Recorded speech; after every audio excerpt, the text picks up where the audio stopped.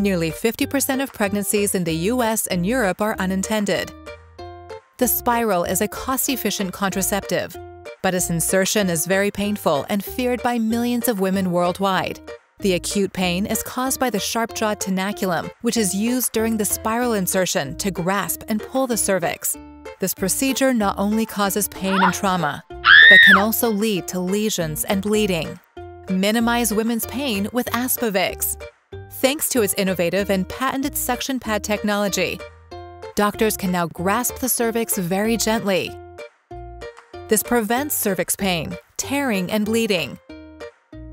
As a result, neither anesthesia, lesion healing, or cervix stitches are needed, significantly reducing the doctor's time and cost for a spiral insertion. 64 million women worldwide suffer from pain caused by a tenaculum every year, and more than an additional 6 million women would use a spiral as a contraceptive if the insertion was less painful.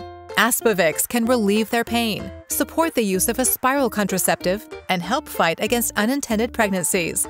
To learn more, visit aspivix.com.